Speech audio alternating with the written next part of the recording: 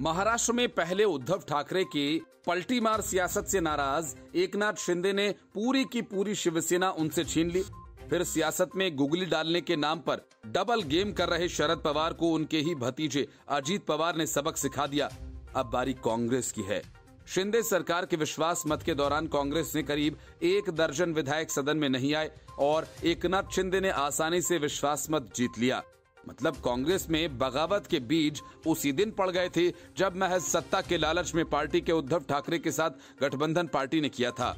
इस बेमेल और बेतु के गठबंधन में कांग्रेस के कई विधायक और नेता असहज थे, और अब वे भी बगावत की तैयारी कर रहे हैं। सूत्रों का कहना है कि कांग्रेस के दो प्रमुख नेता उनसे बातचीत कर रहे हैं, और चर्चा अब अंतिम चरण में है।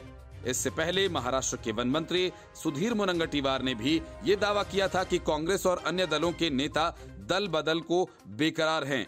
जब मुनंगटीवार से भाजपा के संपर्क में कांग्रेसियों के बारे में पूछा गया तो उन्होंने कहा कि सिर्फ़ कांग्रेस ही नहीं, बल्कि ऐसे कई लोग हैं जो अपनी पार्टियों से नाखुश हैं, क्योंकि उनके नेता स्वार्थ से भरे हुए हैं।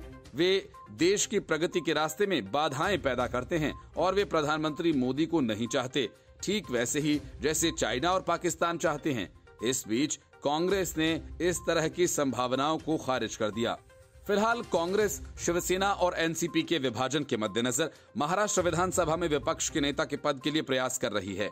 वैसे पूर्व मुख्यमंत्री पृथ्वीराज चौहान ने एक हालिया इंटरव्यू में दावा किया था कि भाजपा ने पहले कांग्रेस को भी तोड़ने की कोशिश की थी। उन्होंने कहा था कि दो तिहाई संख्या तीस विधायकों की होती है, जो आसान नहीं होगा। एक या दो विधायक शामिल हो सकते हैं। हालाँकि एनसीपी में विद्रोह कर उप मुख्यमंत्री की शपथ लेने वाले अजीत पवार के दांव के बाद कांग्रेस भी सतर्क हो गई है और अपने खेमे को लामबंद करने की कोशिशों में जुट गई है। पार्टी ने बैठक की और स्थिति पर चर्चा की। बैठक के बाद वरिष्ठ कांग्रेस नेता और पूर्व मुख्यमंत्री अशोक चौहान ने कहा कि हम मज़बूत और एकजुट हैं। हम एमवीए में हैं। पिछले साल एकनाथ शिंदे गुट के शिवसेना से अलग होने और उनतालीस विधायकों के टूटने के बाद एमवीए का संख्या बल कम हो गया था और अब एनसीपी के अजीत पवार का दावा है कि उन्हें पार्टी के तिरपन विधायकों में से 40 से अधिक का समर्थन प्राप्त है। दो सौ अट्ठासी सीटों वाले विधानसभा में कांग्रेस के 45 सदस्य हैं। शिवसेना के उद्धव ठाकरे गुट के पास 17 विधायक हैं। Report, news of India.